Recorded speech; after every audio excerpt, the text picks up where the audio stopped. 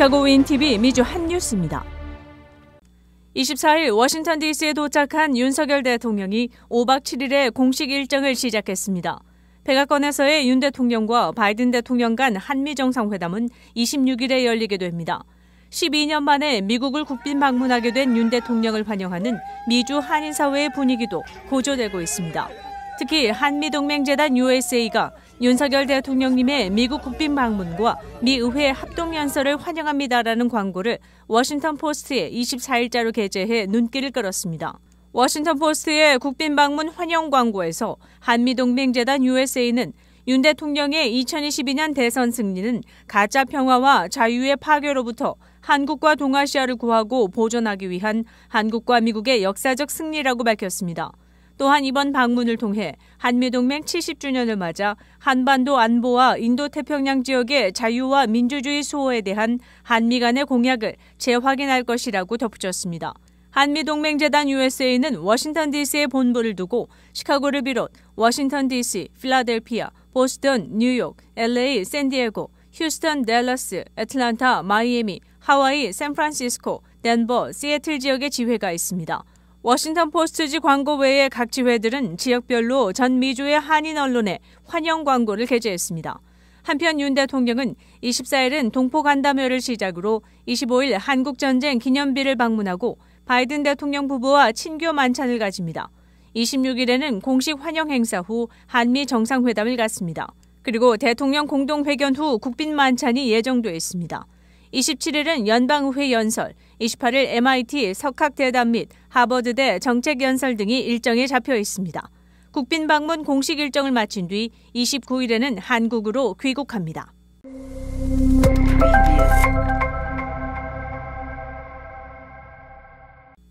수익 급감 등 재정적인 문제로 매장을 축소해 오던 Bed Bath & Beyond가 결국 파산 신청을 했습니다.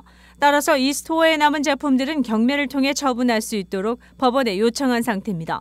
가정 내 필요한 제반 생활용품을 판매하던 소매업체인 Bed Bath & Beyond 스토어는 전국적으로 360개 업소가 있으며 관련 업계 120개 베이비 제품 취급 스토어를 가지고 있습니다. 수년에 걸친 자구책 마련에도 불구하고 스토어 매출이 늘지 않자 23일 법원에 챕터 11의 파산 신청을 접수한 것으로 알려졌습니다. 한인들이 거주하는 윌멧, 스코키, 샴버그 지역 등에서 영업을 하던 이 스토어들은 스토어 내 보유 제품들이 모두 청산될 때까지는 문을 열 것으로 보입니다. 이 회사의 주식 가격은 올해 들어 88%가량 하락했습니다. 윈티비 채널 24.5는 안테나를 통한 공중파 방송을 통해 시청할 수 있습니다. 보수 성향 매체인 폭스뉴스의 간판 진행자 터커 칼슨이 폭스뉴스를 떠난다고 알려졌습니다.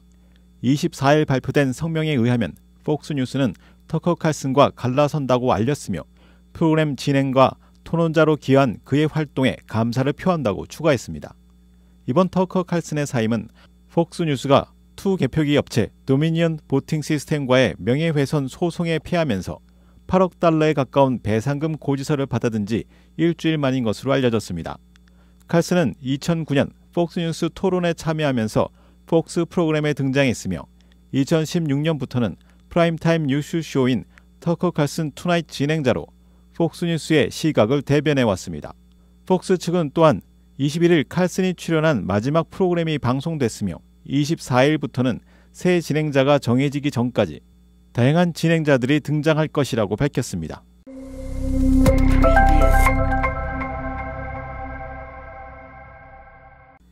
미국의 중소 반도체 업체인 넷리스트가 삼성전자가 협업 이후 특허 기술을 가졌다고 주장하며 소송을 해 배상을 받게 됐다는 소식입니다.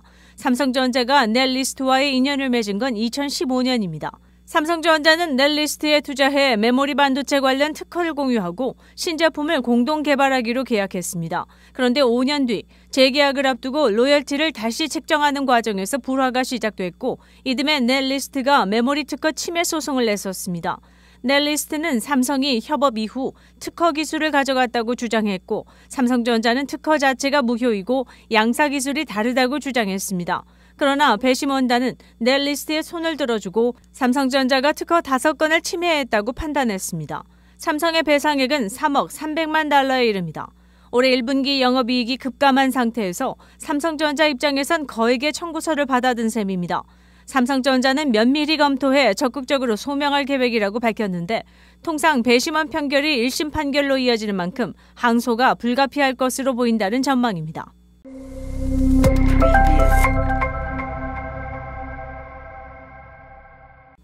미국 항공업계가 조종사 고령화 등에 따른 은퇴급증으로 인력 부족이 심각한 것으로 나타났습니다. 현재 근무하는 조종사 절반 이상이 15년 이내 은퇴가 예정돼 있을 정도로 상황이 심각합니다.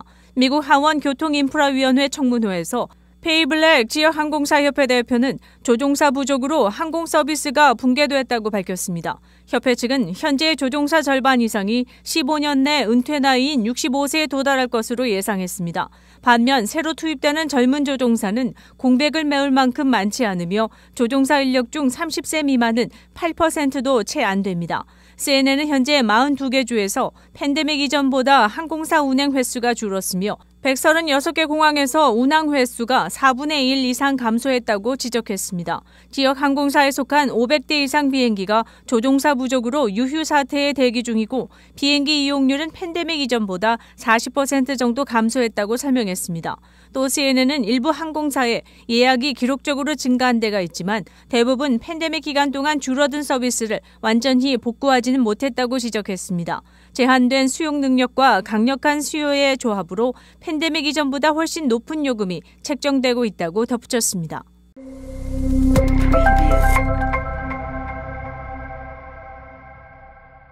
미러키길과 댐스터길 교차로의 북동쪽 코너에 위치한 미라지 식당 주차장에서 23일 새벽 1시경 청년 한 명이 총에 맞아 사망하는 사건이 일어났습니다.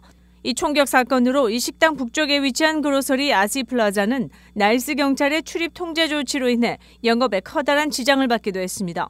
나일스 경찰은 총에 맞아 식당 주차장에 쓰러진 23살의 청년은 곧바로 인근 병원으로 옮겨졌으나 결국 사망했다고 발표했습니다. 사건과 관련해 25살의 노스브로 거주 용의자 한 명이 체포됐습니다. 이 총격 사건으로 마켓의 출입이 통제돼 아시마켓 내 푸드코트는 음식을 미리 준비할 시간을 갖지 못한 관계로 비즈니스를 할 수 없었습니다. 한인 식당 업주들은 갑자기 터진 사건으로 큰 지장을 받았다고 토로했습니다. 아시 측 최성훈 지점장은 이번 총격 사건 관련 날스 경찰로부터 건물 폐쇄에 관해 공식 통보는 받지 못했다고 밝혔습니다. 오히려 경찰 측에 연락해 아시 주차장이 봉쇄된 이유를 물었으나 자세한 정보는 받지 못했다고 전했습니다. 추후 주류 사회 미디어를 통해서야 총격 사건 전모를 알았다고 덧붙였습니다. 아씨 플라자는 23일 오전부터 경찰이 설치한 바리케이드 때문에 사람들의 출입이 통제됐고 오후가 돼서야 정상 영업이 가능했습니다. 아씨플라자 최 지점장은 24일 오전 윈미디어와의 전화 인터뷰에서 이 사건으로 일요일 오전 헛걸음을 한 고객들에게 송구한 마음이라며 영업에 많은 지장을 받은 tenant들에게도 죄송하다고 덧붙였습니다. 시카고 한인동포 일간지 한국일보는 전자신문으로도 배포됩니다. 시카고 한국일보 무료신문은 가까운 한인식당이나 마켓에서 볼 수 있습니다. 뉴스 24에서는 여러분의 제보를 기다립니다.